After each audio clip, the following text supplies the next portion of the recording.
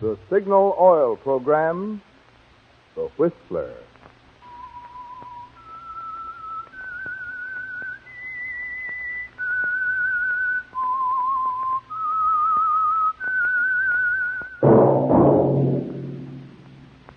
That whistle is your signal for the Signal Oil Program, The Whistler.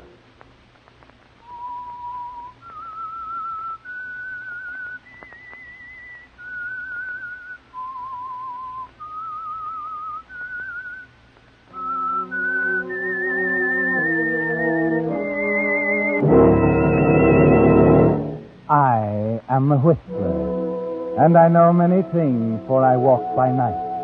I know many strange tales hidden in the hearts of men and women who have stepped into the shadows.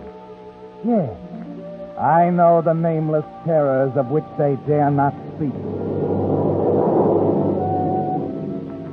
Yes, friends, it's time for the Signal Oil program, The Whistler. Rated by independent research, the most popular West Coast program in radio history. And Signal gasoline is tops, too. Tops in quality. It takes extra quality, you know, to give you extra mileage. And Signal is the famous Go Farther gasoline. So look for the Signal circle sign in yellow and black that identifies friendly dealer owned Signal service stations from Canada to Mexico. And now the Whistler's strange story Juggernaut.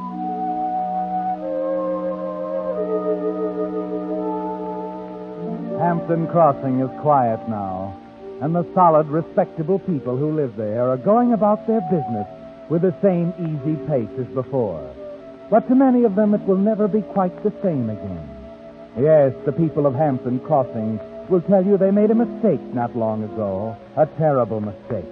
There was mob violence and death, and the men and women who were part of it still winced inwardly as they passed the place where it happened. They can still see the flaming torches, the assault wave surging up the steps of the Hall of Justice on Park Street. They can still hear the cries for blood.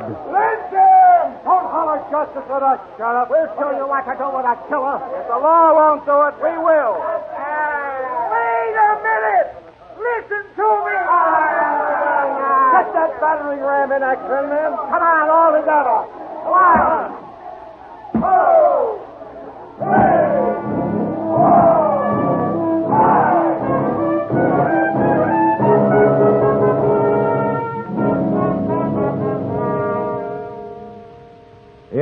there was a mob killing that night in Hampton Crossing.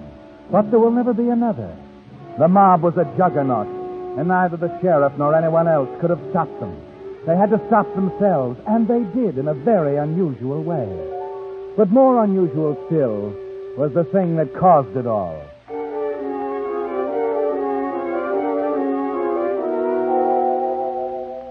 Ten days lay between that terrible night at the courthouse and its beginnings in the library of Henry Ellerby's big house on the hill. Josh Ellerby sat across the desk from his brother listening, the green shaded lamp between them making a caricature of Henry's face as he talked. Well, Josh, we've both been a part of Hampton Crossing for a long time, haven't we? Twenty years. Twenty-two, to be exact. And we've both come a long way, Josh. I've come to love this town and the folks who live here. I've given most of them good jobs in my mills, provided a good living for them, put their kids through school, taken care of them when they were sick. Of course, Henry. Uh, is that why you asked me to come here? To tell me. I think it's time for a little self-analysis, Josh. Time to stand off a ways and look at each other. Yep, I've done a lot for the people here. But I think you've done even more, in a way. Why, I, I don't know, Henry. Yes, I feed their bodies, put clothes on their backs, but you own their hearts.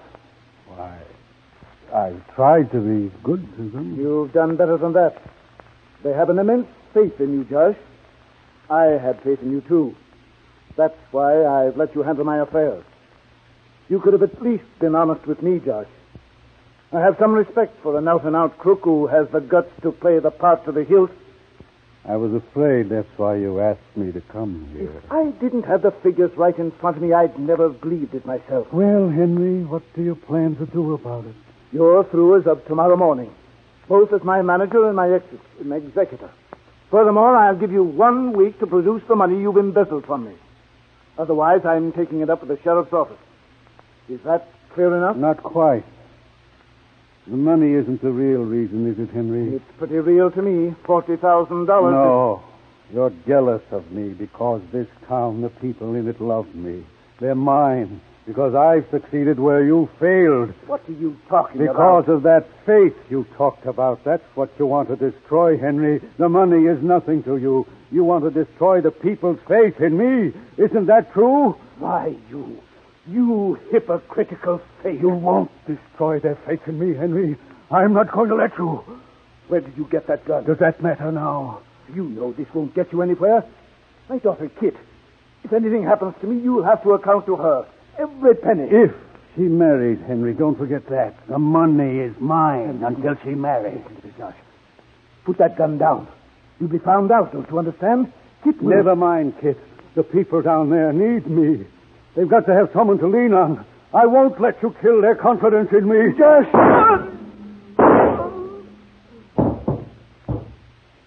I'm sorry, Henry.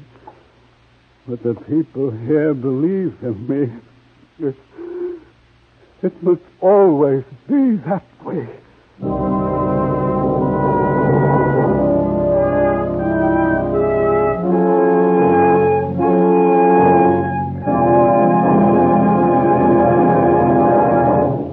The prologue of Juggernaut, the Signal Oil Company is bringing you another strange story by The Whistler.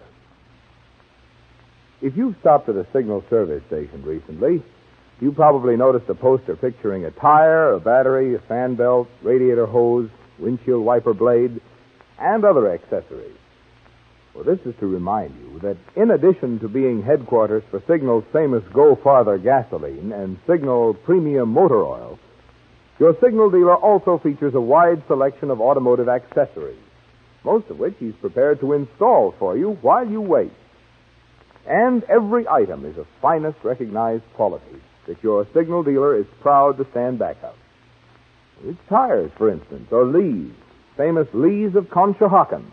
For 45 years, the finest of first run tires. His batteries are built to Signal's own rigid specifications for trouble free service and long life. And your Signal dealer's polishes, radiator cleaner, leak sealer, and other automotive accessories are nationally advertised brands. So to ready your car for summer trips, stop by your Signal service station this week for a checkover of these little items that can make such a big difference in driving pleasure. It's part of your Signal dealer's complete service to help your car run better, look better, and last longer. And now back to the Whistler.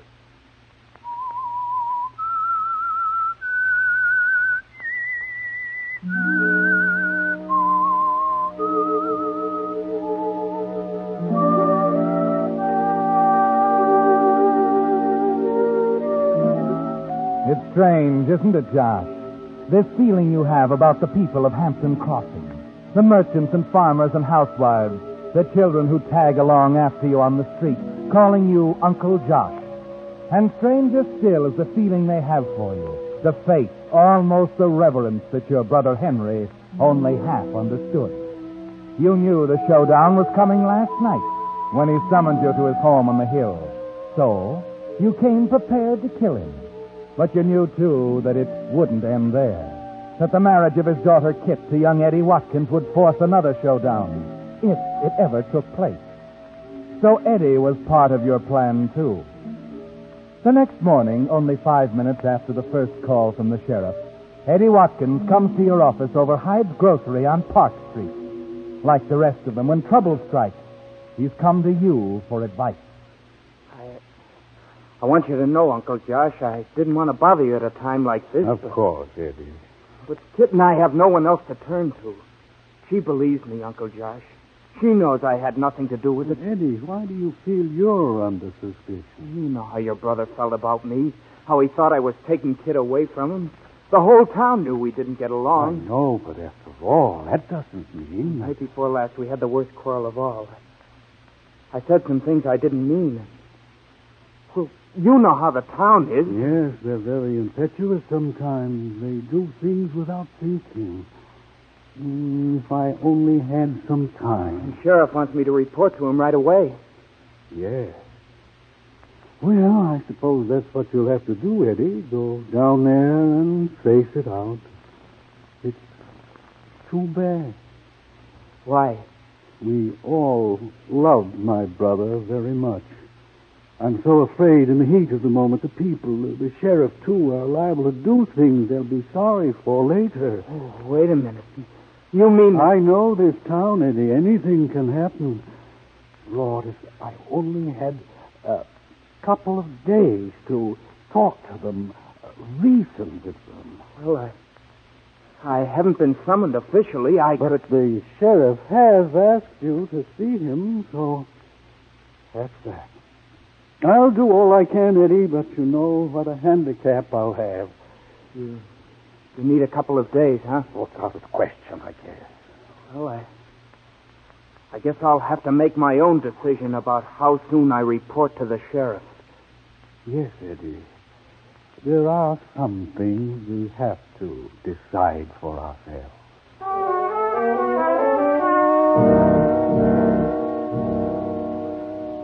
Eddie, Watkins, why, why, Sheriff, I can't believe it. I didn't say he's guilty, Josh. All we know is he's the only one who might have had a motive. But just because Eddie quarreled with my brother. Oh? He did have a quarrel then? Henry was opposed to his marrying Kit. But that doesn't mean Eddie would. Uh, maybe not. But the smart thing for young Eddie to do is to show up here and start explaining. That's what I can't understand. What do you mean, Sheriff? I sent for him three hours ago. Why isn't he here? You mean you think Eddie would run away? Hmm. You just gave me an idea.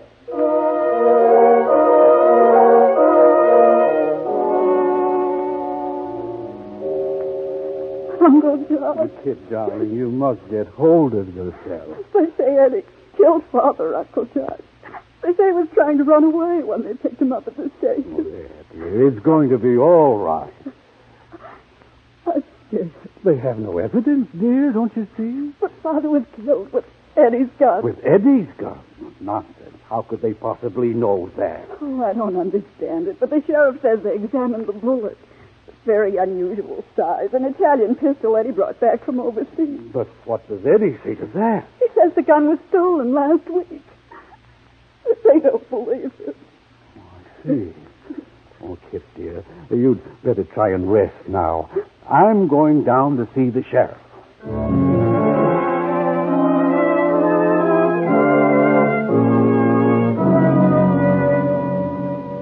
Listen to me, Sheriff. Now, you listen to me. I, I know how you feel, Josh. I know what Henry meant to you. But don't you see, Sheriff? And I know you're too kind-hearted to believe Eddie Watkins or anybody else could have killed him. But the point is, somebody did. Eddie's young, impetuous, madly in love.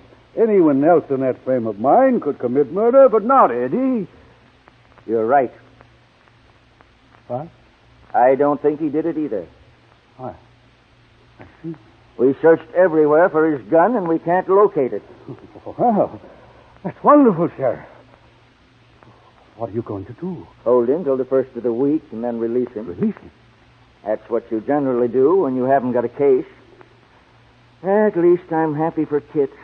If anything happened to Eddie, I don't believe she'd ever get over it. Oh, yes, of course. And I, I'd better be going now. Yes, Well, you uh, you can tell Kit about it. I will. I'm taking her to Henry's funeral in an hour. I'll tell her the, uh, the good news.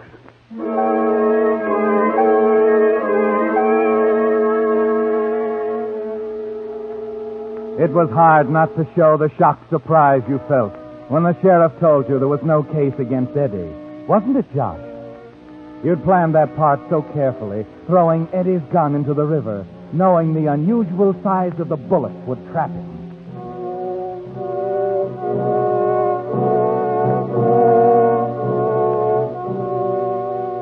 You curse yourself as you stand at Kit's side at the church, with the whole town gathered round to share your grief.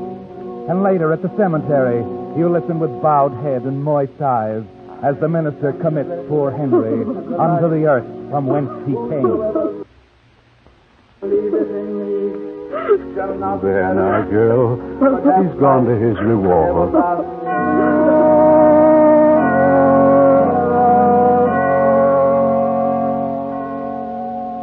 You raise your head when it's over with a silent glance of appreciation at each group of mourning friends. Your mind still searching for the answer to Eddie Watkins and the missing gun. It's after you've shown Kit to the waiting car that the answer comes. Yes, you were right, Josh. They're your people. And the sorrow you display is their sorrow. You feel it on every side now as the car moves off. As you turn to a couple of the men moving up to express their sympathy. We're awfully sorry, Josh. It's a terrible thing. Terrible. Thank you, Dave. Frank, for coming out here, leaving the bank, the store. There was a little to do. Whole town's closed up today. It's uh, it's almost like something that happened to you, Josh. Thank them all for me, will you? I, I, I'm not quite up to it myself. They understand, Josh. No, and uh, tell them not to be too bitter about Eddie Watkins. You can't change that. I mean, in view of the fact that he's going to be released. Released? We haven't heard anything about Well, that. the sheriff knows what he's doing. We must put our faith in him. What? But he's now he he knows that he's guilty. That he's murdered your brother. Everybody knows it. What kind of please, justice is this? Dave, don't talk violence. You know how I feel about those things. But he's right, Josh. That boy took a life. He's got to pay. I've seen it in other towns. Bloodshed, an eye for an eye, lynchings. Sometimes that's the only answer. No, Dave.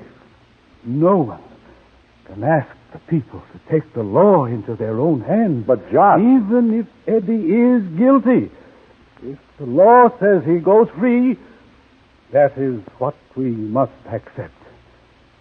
Now, if you'll excuse me, I must be going. Kit needs me. Bye, Josh. Free. That young murderer going free. Oh. Josh won't even lift a hand against him. Maybe it's up to Josh's friends to lift a hand.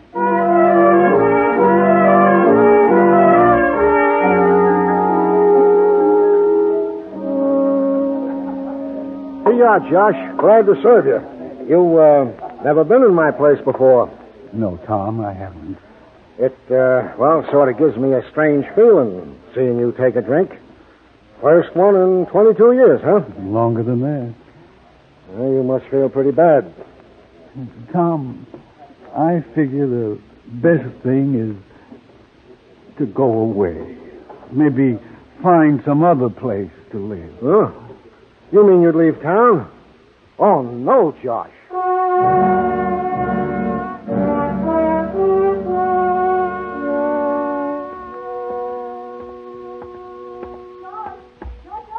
Huh?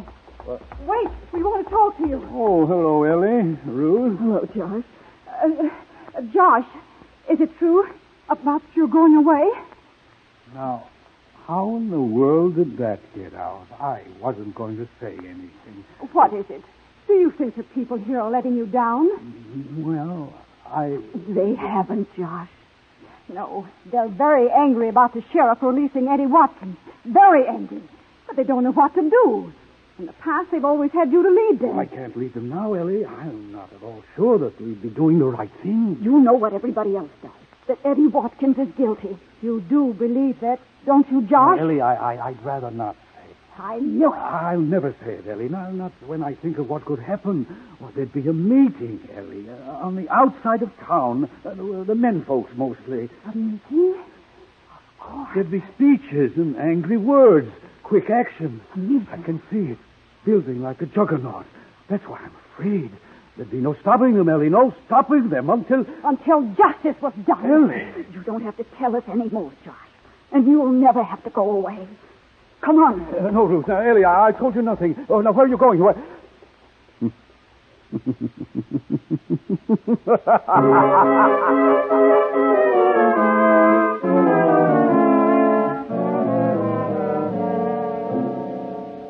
That's only a rumor, Ellie. He isn't going to leave. It isn't a rumor. I tell you, I talked to him myself, Frank. Huh? He thinks we've deserted him. But what can we do? I don't even know where to start. We've talked to the sheriff, Ellie, and he thinks that we ought to. Sheriff is a fool. This is more than law and opinions, Frank. Josh Ellerby's given his life to this town. He has a right to expect something in return. Yeah, if only there was some way that we could think this thing You could call a meeting, Frank. Everyone's of the same mind. Get them together and. A meeting? Ellie, do you know what could happen? Why, if that mob ever got stirred up, Of they'd- course I know. But when it's over, our murderer will have gotten what he deserves. And even Josh will thank us. He'll understand and thank us. And Josh won't leave Hampton Crossing then. No. A meeting? Yeah. I wonder if Len Frawley would let us use his barn.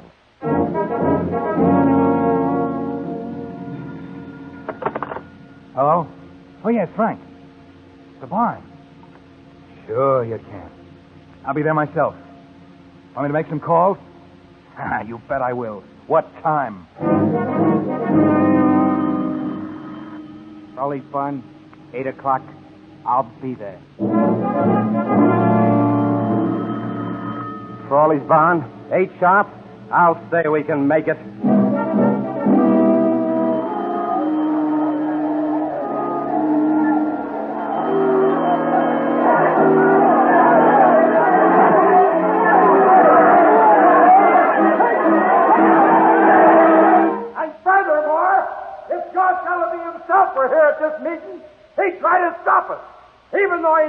Own heart that Eddie Watkins is a murderer.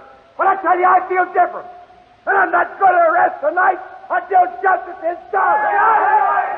That's the answer I want. Come on, let's go.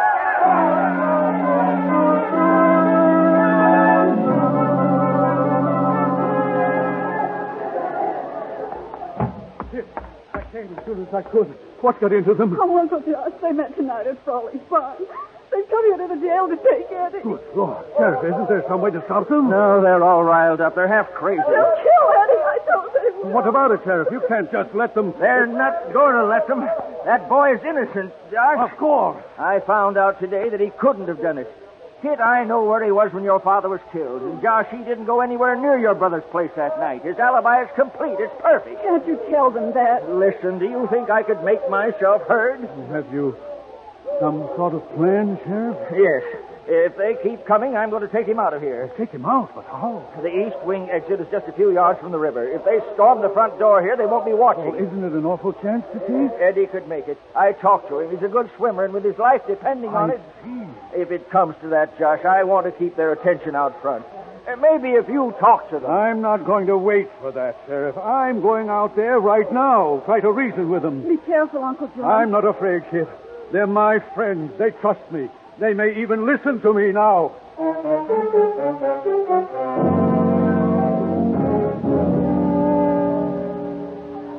You sure about that, Josh? The uh, sheriff told me himself.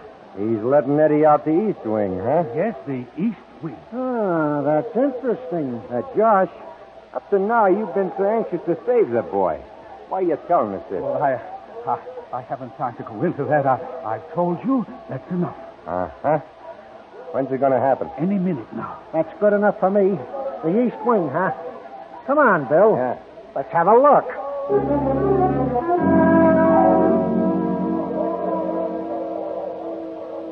You're right, Sheriff. There's no reasoning with them. They, you've got to get Eddie out now. No, you think I'm doing the right thing, Josh? Uh, do you think it'll work? It's the only way, but hurry, men, hurry. All right, I'll go for it. Good luck, Sheriff. Good luck. It's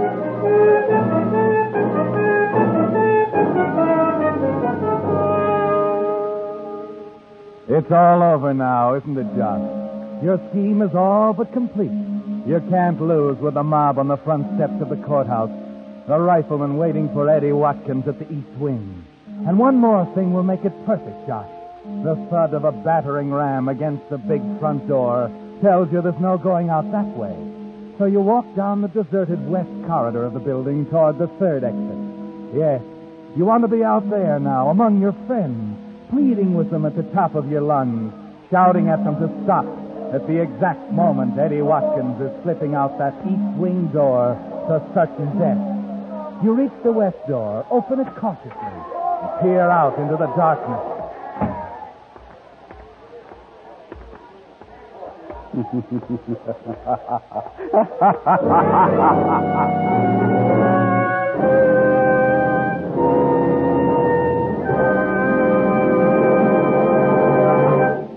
The Whistler will return in just a moment with the strange ending of tonight's story. Meantime, a word of wisdom to Mr. Average Driver.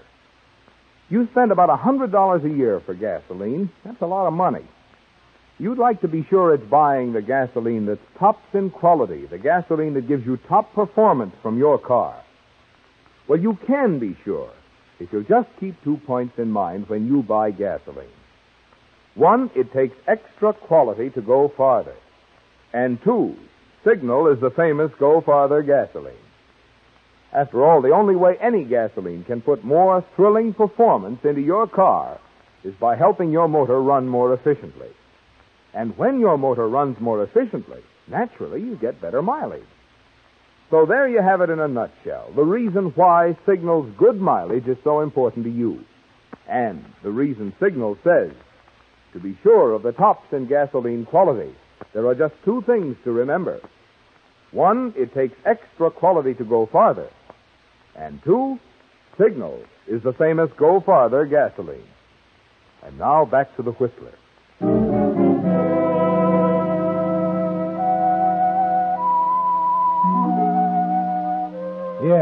There was mob violence that night in Hampton Crossing. A night no one who saw it will ever forget.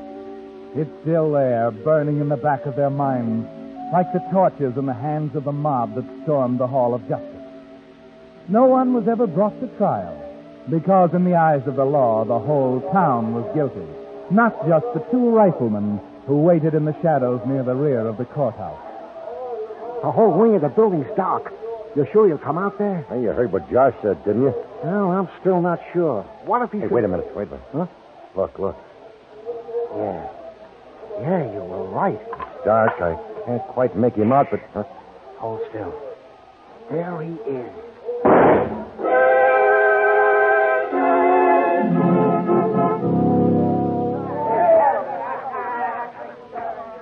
Takes care of Eddie Watkins. Nice work, fellas. I might teach the sheriff a lesson. Murderers won't get out of this town. Well, there he is, boys. Turn him over. Right. Uh, there you go, Eddie. Good Lord, what have we done? Josh. Bill. Bill. He told us the truth. What do you mean? He he said they were going to get out of out the east wing. That's why we waited here, on the west side. Yes, we we figured he'd do anything to save that boy. We were sure that this time, for once in his life, Josh Ellerby would tell a lie.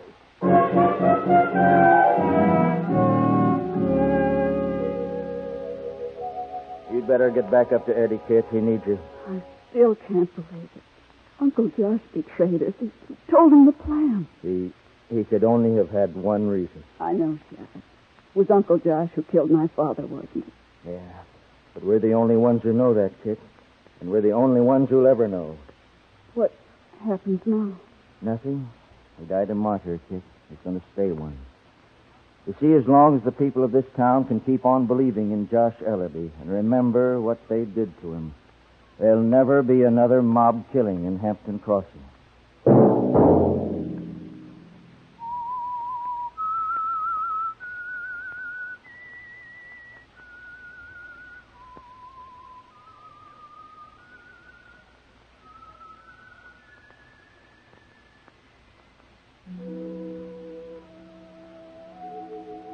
That whistle be your signal for the Signal Oil program, The Whistler, each Monday at this same time.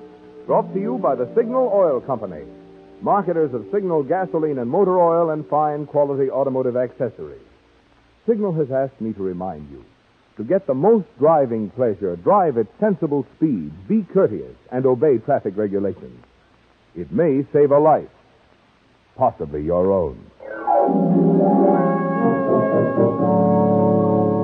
In tonight's story was Herb Butterfield. The Whistler was produced by George W. Allen with story by Joel Malone and Harold Swanton, music by Wilbur Hatch, and was transmitted to our troops overseas by the Armed Forces Radio Service.